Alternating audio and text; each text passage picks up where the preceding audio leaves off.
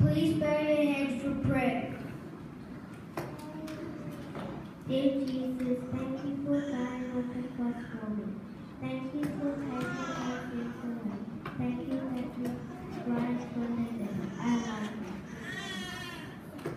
Dear Jesus, thank you for dying on the cross so you could take away my sins. Thank you for forgiving me when I sin. I love you more than anything in the world. Dear Jesus, thank you for dying on the cross for us. Thank you for saving us and taking our sins away. And I thank you for building another home for us in heaven. I can't wait to live there. Amen. Dear Jesus, thank you for dying on the cross and rising again for me. Please bless me and my family. I can't wait to see you one day in heaven.